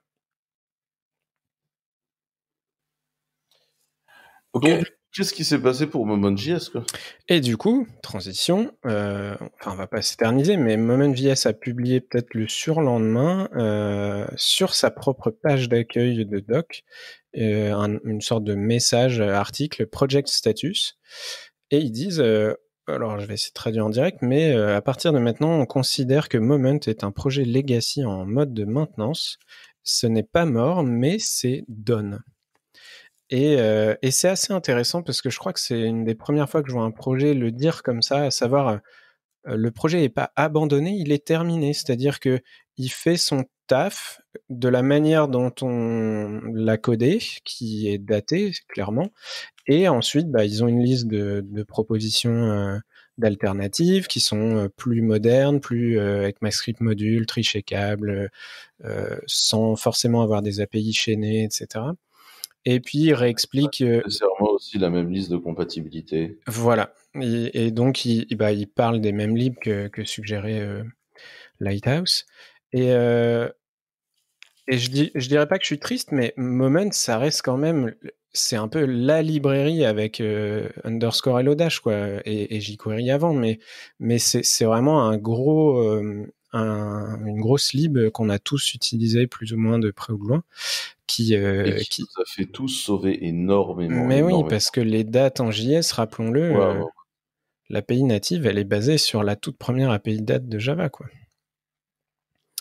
Voilà, voilà. Et euh, donc, ouais, non, c'est. En fait, Moment n'a pas changé d'état en trois jours. Tout le monde sait que ça bouge plus trop, qu'il y a des alternatives plus légères, plus perf, qui se basent sur les standards, etc. Mais là, on voit bien ce que Google a, a, a causé comme effet, à savoir de, de faire un, un, communiqué qui dit euh, ouais ouais mais on est d'accord avec eux, vaut mieux utiliser autre chose, etc. N'empêche que ça a eu un impact. Et donc euh, voilà, par rapport à toutes les discussions qu'on a eues euh, avant, qu'est-ce que ça va donner sur d'autres libs s'ils commencent à le faire sur d'autres Le lead dev de Moment, il est parti en faisant la gueule un peu quand même. Ouais, alors Tim, euh, il, est, il, il, bosse plus dessus depuis plusieurs années et dans un tweet, il explique voilà, c'est pour ça que j'ai décidé il y a plusieurs années d'arrêter de faire de l'open source. Et je pense que c'est un, thème qu'on retrouve énormément dans l'open source, c'est le burn-out du, du mono-développeur euh, sur un projet qui se prend des milliers de ça marche pas, gna gna gna. Ouais, enfin, t'es gentil, c'est gratos, euh, essaye de faire un, test reproductible euh, et m'aider, quoi. Mais il y a un moment, la gratuité de l'open source, on, est arrivé à des, des, abus, on les connaît tous dans, dans des threads d'issues qui sont abusés, quoi. La gratuité tout court sur le net. Hein. Je, ouais, je, te, je, te, passe les commentaires sur notre support ou des fois, enfin, des fois sur le support de Clipper, on a des gens qui disent Ah, mais c'est payant Ah ouais, mais il faut payer, ouais. ouais. voilà, voilà. Goodbye, ouais. euh, goodbye, moment. Rip l'ingé son surtout. C'est moi. Euh, Anyway, je vous propose de, de, de, on est à 1 heure et 5 minutes d'enregistrement, je vous propose d'avancer. Ouais. Euh, d'avancer et en parlant d'open source et de burnout et de et surtout mais surtout d'open source euh, transition un peu pourrie sur euh, la GPL euh, en France c'est-à-dire de Geoffroy Coupry euh, et tu vas nous expliquer qu'est-ce qui s'est passé entre Entrouvert c'est une boîte qui fait de l'IAM ou de la sécu je sais plus enfin de l'authentification et Orange alors c'était à la base un lien de Uber, mais il veut pas mettre les mains dans la GPL, donc. Euh... Non, j'ai commencé à le lire, j'ai fait un. C'est parce que ouais. c'est contaminant. Alors en fait, ce qui s'est passé, c'est que Entrouvert, il faisait, je crois, une, une lib qui s'appelle Lasso, qui faisait du SAML, que euh, Alors avait... SAML, c'est une libre, c'est une protocole d'authentification unique. Donc euh, tu te logs une fois et ça te permet de te loguer sur X trucs. C'est, euh, c'est voilà, c'est, c'est tout Ils ce font pas de l'autorisation aussi? Aussi. Ouais. Authentification, autorisation et beaucoup, beaucoup de XML. Mmh. À la, à la base, SAML c'est SSO. Et donc maintenant on utilise tous SAML V2 et euh, vous, vous, pouvez vous abstraire tout ça en utilisant. Voilà. Voilà. Désolé, c'était mise en contexte pour ceux qui ne sauraient pas. Ouais. Ceux qui veulent du détail, on mettra le lien du talk de Valériane là-dessus. Euh, Carrément. L'année dernière. Ouais, donc ce qui était intéressant là-dessus, c'est que bah, Orange avait employé cette lib euh, lorsqu'ils ont fait a priori l'authentification du site Mon Service Public. Euh, apparemment, ils avaient bossé un petit peu avec la, la boîte entrouvert euh, dessus ou à côté. Ils avaient causé entre eux. Enfin, il y a une longue, longue, longue explication des relations entre les deux boîtes. Mais toujours est-il que, bah, au final, ils ont ship le truc. Euh, Il y avait la lib dedans et euh, là, les gens de, de chez Entrouvert ont dit ouais, mais attendez, c'est de la GPL. Donc, pour le contexte de la licence GPL, il va dire que si tu publies un soft qui embarque un bout de code qui est sous GPL, euh, il y a le concept de viralité de la licence qui va faire que, en gros, ton, ton soft doit être open source, mais aussi toutes les modifications que tu as faites au code doivent être publiées. Ouais, ouais. Tout doit être publié sous GPL. Voilà. En plus, ouais. Enfin, alors, c'est même plus vicieux que ça, c'est-à-dire que c'est pas tant que tu dois les, les, tu dois publier les sources, c'est si on te les demande, tu dois les donner. Mmh. Voilà. Et donc, ce qui s'est passé, c'est qu'il y a 9 ans, en fait, Entrouvert a, a attaqué Orange pour une histoire de violation de la, la GPL. Et ce qui est intéressant dans ce truc-là, c'est que là, c'est arrivé sur un non-lieu euh, au tribunal de grande instance, parce que le tribunal de grande instance a déclaré que non, ça ne peut pas être de la contrefaçon. La contrefaçon, c'est lié au droit d'auteur, c'est-à-dire que si tu utilises quelque chose qui a été une offre qui a été créée par quelqu'un et que tu l'utilises pas de la manière que, qui, est, qui est voulue, que tu essaies de la revendre en modifiant, etc., c'est de l'ordre de la contrefaçon. Et donc c'est sous la houlette du tribunal de grande instance. Ils ont dit là, en fait, non, la GPL c'est pas euh, une histoire de droit d'auteur, c'est une histoire de contrat. Et c'est intéressant parce qu'à la base, la GPL c'était une grosse bidouille autour du concept de copyright aux US c'est pour ça qu'il y a marqué copie, copie, copie partout dans tous les sens, de savoir qui a le droit de quoi selon la copie, selon ce que l'auteur en a voulu. Sauf que le droit français ne s'applique pas de la même manière.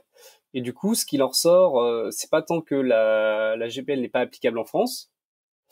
Oui, il y a, un concept de droit d'auteur qui est extrêmement rude en France, on est d'accord. Hein, mais... Non, mais c'est pas ça. C'est qu'en fait, moi, je comprends pas ce jugement et, je veux aller en parler avec des avocats parce que le petit dossier quand même sur ce jugement-là, c'est que c'est pas la première fois qu'il y a un procès sur du sur du code GPL en France. Et jusqu'à présent, ça s'est toujours passé normalement sous le concept du droit d'auteur.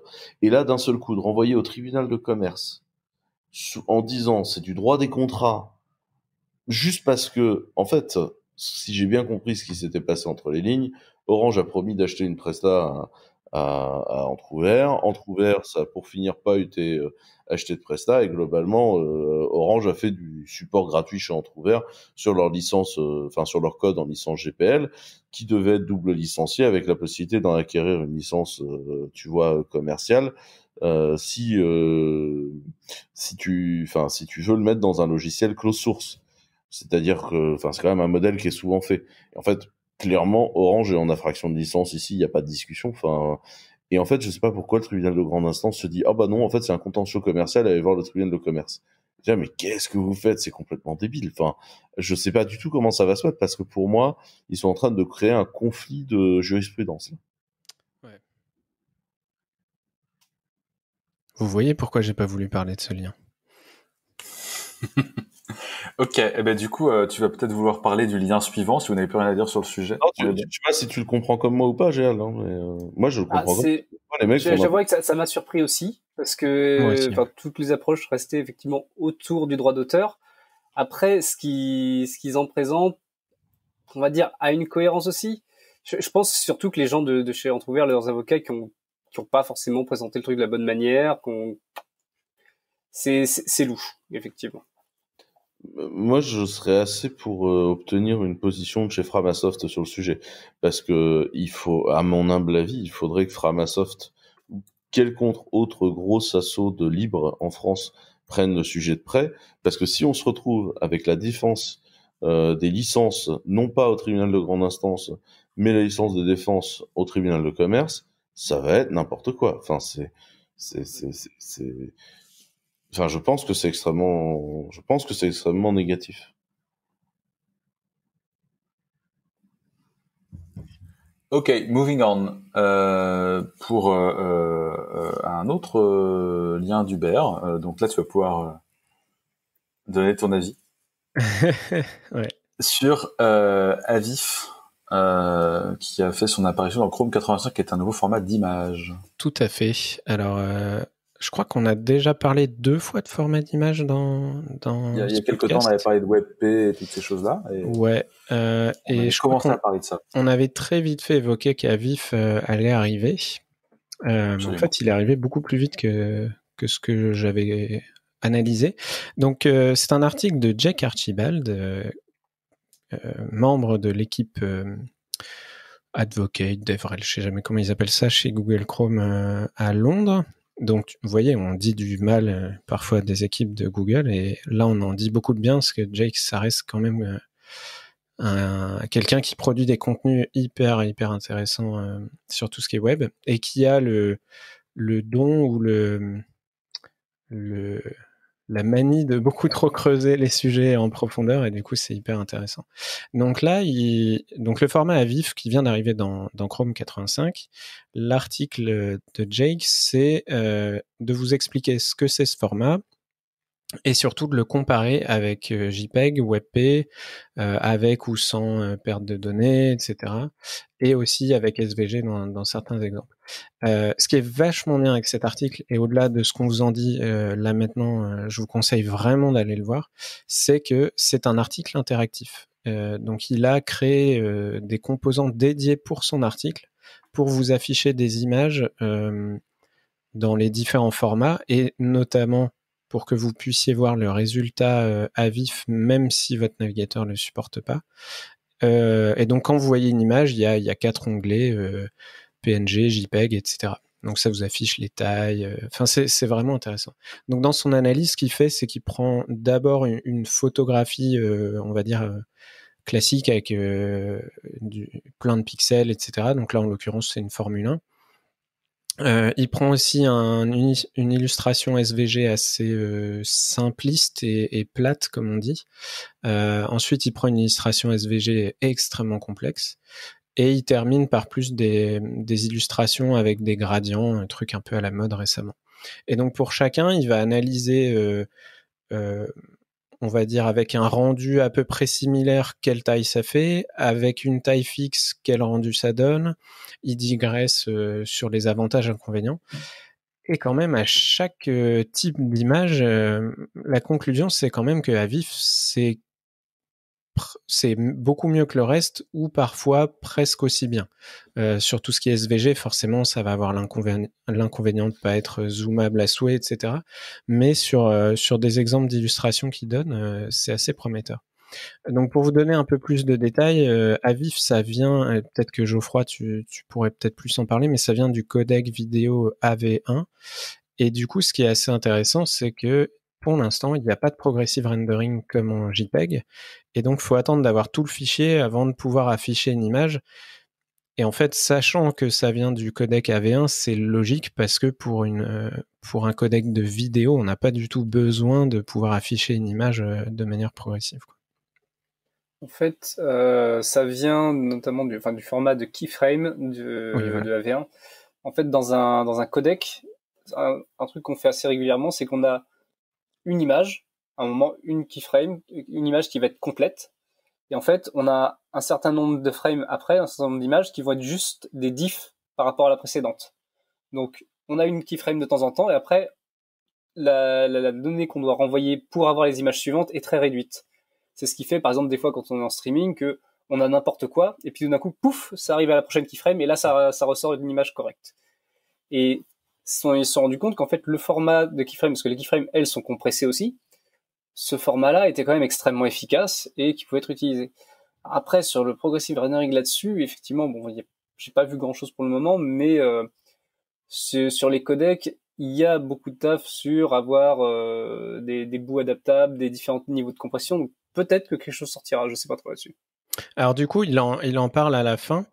Euh, à la fin, il a une démo euh, où il montre. Euh, alors, il dit combien de kilobytes ça prendrait en plus, mais il met sa photo d'un chat avec un de 5 kilos en plus en mode très dégradé et il montre ce que ça pourrait faire euh, en la chargeant d'abord la version très dégradée et ensuite la, full version.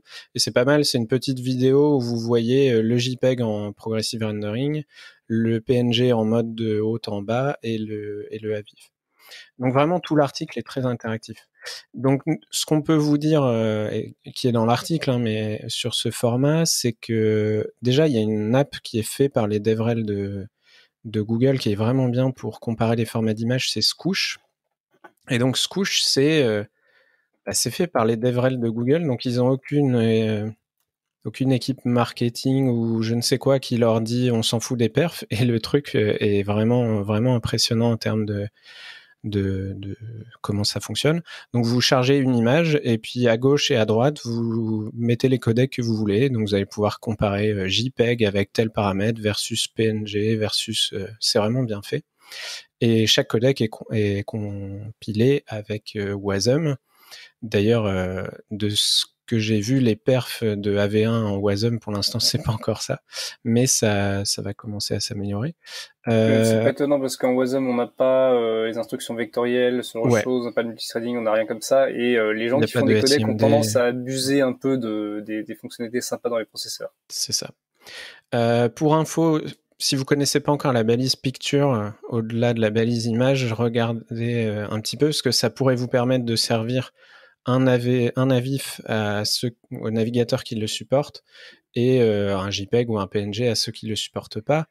Euh, et si vous voulez automatiser ça, il y a des SaaS euh, qui font ça très bien, comme Cloudinary. Et eux, ils ont un support bêta du format AVIF. Euh, ensuite, j'ai essayé de vous rassembler, c'est listé dans l'article aussi, des outils en CLI pour, euh, pour convertir en masse des images. Donc il y en a un qui est fait en Rust, bien entendu. C'est Kavif, c'est ça, euh, mm. Geoffroy? Et là, c'est sa propre implémentation en Rust, full Rust. Il n'y a pas de... Ça réutilise pas libavif, c'est ça? Non, ça a l'air d'être full Rust, ouais. Ok. Donc après, il y a aussi une implémentation en C ou C++, j'avoue que je ne sais plus. Euh, si on regarde un peu ce qui se passe chez Can ça c'est déjà implémenté dans Firefox et c'est dispo derrière un flag. Donc on peut espérer que ça arrive d'ici euh, quelques versions. Je sais pas trop. Euh, et chez Safari, il y a une branche qui l'implémente. Priori euh, qu'il implémente. Est-ce, quel niveau Est-ce que ça marche bien, etc. Je sais pas. Mais il y a une branche depuis le mois de juin. Euh, donc là, par contre, si on veut prédire quand est-ce que ça arrive chez Safari, euh, moi je peux vous dire que dans six mois ça y sera pas. Je parie, je vous parie un verre. Et dans la sortie de l'année prochaine, pourquoi pas. En tout cas, ça ira beaucoup plus vite que l'arrivée de. Quoi. Ce qui me chagrine, c'est qu'on va être obligé de faire notre propre implémentation. Pourquoi? Pour pouvoir l'appeler, l'appeler Artlaker. Voilà. Donc là, il nous manque le jingle euh. Ah, voilà. Merci, Laurent. Euh, donc voilà, ça arrive dans Firefox. Ça va être un peu plus long dans WebKit, mais beaucoup moins long que ce à quoi on a été habitué. Euh, tout le monde, les trois browsers utilisent. Alors comment ça se prononce, Geoffroy? David, Davind, Dav... Oui, je crois que c'est David, ouais. DAV1D qui est euh, le décodeur euh, encodeur qu'il y a dans VLC pour le format AV1. Ça, c'est toujours assez amusant. C'est-à-dire qu'on se bat pour avoir trois moteurs de rendu et trois moteurs euh, navigateurs. Et en fait, ils utilisent tous les trois le même codec. En même temps, euh, on va pas leur demander de chacun implémenter le leur. Hein, faut pas déconner. En, fait, euh, dans, le, marché des codecs, euh, si tu verras un certain nombre d'implémentations apparaître. Généralement, une ou deux grosses implémentations open source. Et puis après, c'est plein, plein, plein de trucs proprio avec des optimes proprio et notamment pour du hardware. Mais effectivement, en fait, il y aura plein d'implémentations d'un codec, mais euh, la plupart, tu ne verras jamais le code. Ce sera dans des trucs, dans des boîtes euh, qui ont besoin de perdre parce qu'ils font du streaming, ils font des choses comme ça. Et c'est pour ça que quand euh, tu bosses sur un truc comme VLC, des fois, tu vois arriver mais n'importe quoi dans à parser, à décoder. Et euh, c'est parce que ben, les gens, tant que ça passe dans le décodeur, on considère que euh, ça va. Quoi. Donc voilà, un article super intéressant sur ce format qui se termine euh, sur une ouverture sur JPEG XL et WebP V2 qui sont en travaux. JPEG XL euh, se vante d'avoir euh, des meilleurs euh, résultats. Il faut savoir aussi que pour l'instant, l'encodage et le décodage est assez gourmand en CPU. Et Jake, dans l'article, dit qu'il y a des travaux pour que ça commence à être mieux supporté par les GPU, etc. Mais on n'y est pas encore, donc ça, va arriver tout doucement. Voilà, un super article à lire. Alright. Euh, on va changer complètement de monde. Euh, on va se lancer dans le monde des bases de données avec un autre lien euh, de Geoffroy sur MonarchDB. C'est ça. Ça a l'air de s'appeler Monarch ou Monarch. Donc, il s'agit d'une time series database qui est employée chez Google, dont ils servent pour le monitoring qui est extrêmement critique parce que c'est ce qui va monitorer tout le reste, euh, y compris les grosses DB, les spanners, les machins. Donc c'est un truc qui doit être tout le temps up, euh, pas comme Quentin qui vient de disparaître. Et euh, en fait, ils ont des choix intéressants. On, peut voir quelques liens avec euh, Scuba, qui était une autre DB Time Series qui était développée chez Facebook. Déjà, euh, on se rend compte que chez Google et Facebook, ils ont de l'argent parce qu'ils décident que toutes leurs métriques, ils vont les stocker in memory. Donc si tu as beaucoup, beaucoup, beaucoup de RAM, mais genre beaucoup de RAM, tu peux faire ça. Mais il précise une durée de rétention avec ou? Oui, il y, avait des histoires de durée de rétention, mais plus longue que celle qu'on peut faire euh, sur du SSD avec nos budgets, on va dire. Je pense que ça va être comme ça, hein. mais c'est intéressant quand même. Euh, il y a des comparaisons qui peuvent être faites avec des softs comme Prometheus. Euh, déjà, en fait, ils ont une approche qui est vraiment, on fait une base de données time series qui est là pour, pour, pour qu'on puisse y faire des requêtes rapidement sous, sous un incident. Donc, tu dois avoir de la donnée qui est récente. Donc, du coup, ils s'embêtent pas d'avoir une, des données qui sont consistantes. Ils veulent les données les plus fraîches, les plus rapidement possible, pouvoir faire des requêtes rapidement dessus. Donc, il y a des compromis qui sont un petit peu différents. Il y a aussi un côté, euh, moi, c'est un sujet qui, qui me titille assez régulièrement, c'est sur le push versus pull sur les métriques.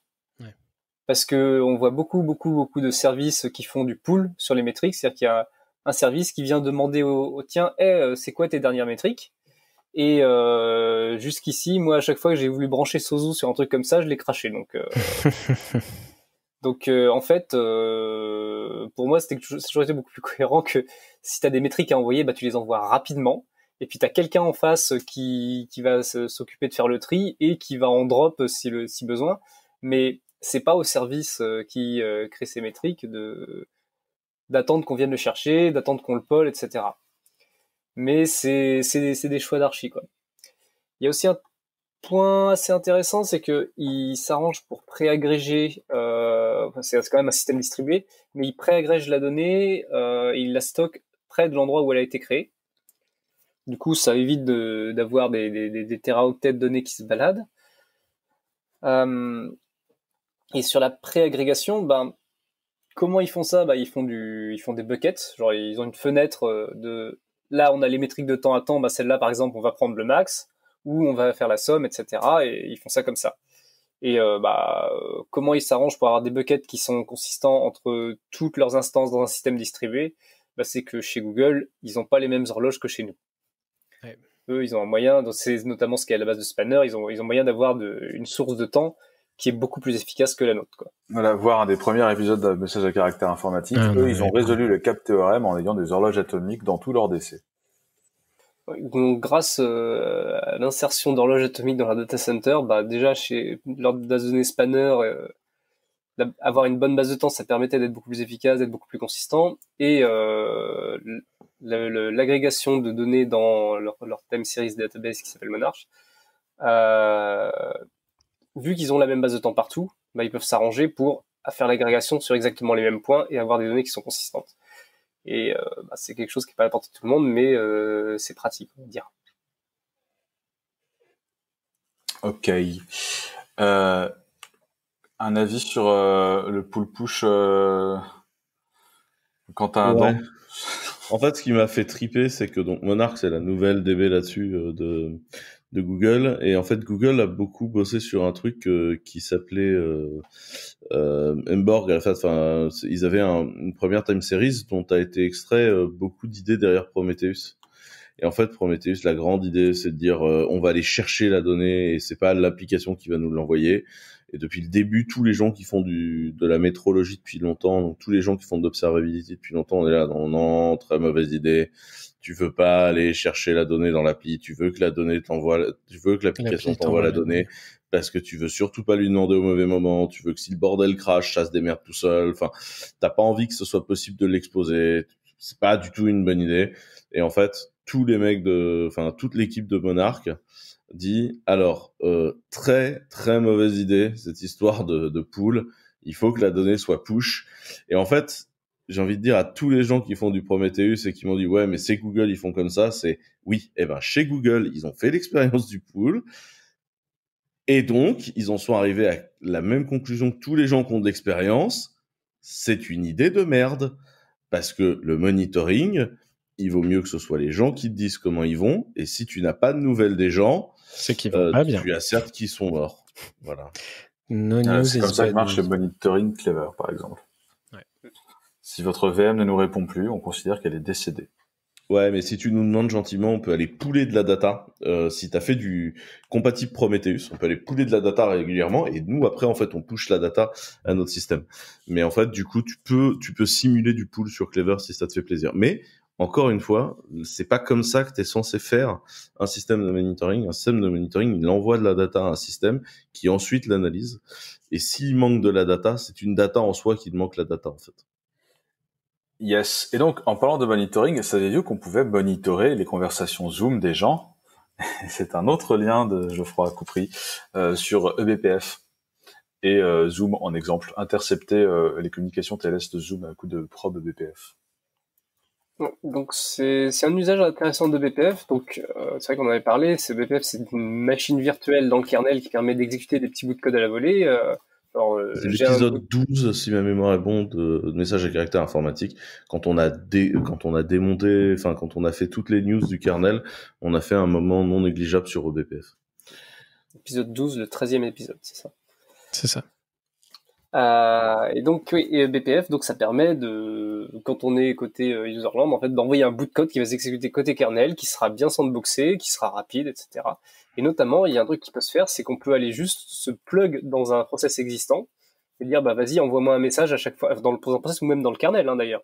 Et on dit bah voilà, sur cette fonction-là, dès qu'il y a quelque chose qui passe, tu appelles mon bout de, de, BPF et je vais regarder ce qui se passe dans la mémoire à ce moment-là, etc. Je vais euh, ressortir des données. Et donc là, ce qu'ils font, donc, c'est de mettre un probe qui euh, va regarder dans les fonctions euh, SSL read et SSL write d'OpenSSL, euh, qui écrit et lit quoi depuis euh, depuis OpenSSL, sachant que c'est vraiment le, les fonctions, le moment où le soft écrit dans le contexte OpenSSL un truc en plain text et après c'est OpenSSL qui s'occupe de chiffrer, envoyer, etc. Donc c'est vraiment le moment où on peut intercepter la donnée. Alors c'est pas on a piraté Zoom, c'est euh, quelqu'un qui a tous les droits sur sa machine, qui regarde ce qui se passe sur Zoom qui tourne dans, dans sa machine et qui se rend compte que bah il y a un paquet de données qui circulent. Euh, pas hyper étonnant non plus. Mais l'exemple en tout cas est super intéressant parce qu'on peut vraiment faire beaucoup de choses. L'exemple est, très didactique. L'exemple est très didactique et très bien écrit. Et c'est pour ça qu'il faut pas donner les droits route à n'importe quel soft sur votre machine. Sachant que maintenant, justement, on a vu lors de cet épisode sur le kernel que il y a des capabilities pour mettre en place le BPF sans être route. Donc euh, voilà. Gestion des droits est un peu plus fine là-dessus. Ok, eh bien, euh, nous allons conclure ce podcast avec ça. et donc en rappelant que pour une fois, c'est pas une feuille de sécu dans Zoom, parce qu'on l'aura un peu quand même tapé dessus tout l'été, tout l'été, depuis le mois de mars. Quoi. Nous, on n'a rien fait. Les chercheurs en sécu, les chercheurs en sécu trouvent des failles, font un article, et nous on dit qu'il y a eu un article de plus sur Zoom, c'est tout. Il faut que j'attrape mon outil de décision euh, et on va pouvoir euh, euh choisir euh, la musique, euh, qui musique va de la semaine. nous envoyer. Je vais donc me lever et récupérer mon dé. Ah, moi j'en ai un si tu veux. Vas-y, vas-y. Ah non, on va dire que je suis corrompu.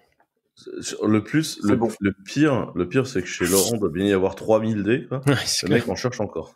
Un peu plus, je pense, mais ils sont rangés. Tu vois, c'est bizarre, il y a des trucs qui, en général, qui sont pas rangés, mais les dés sont rangés.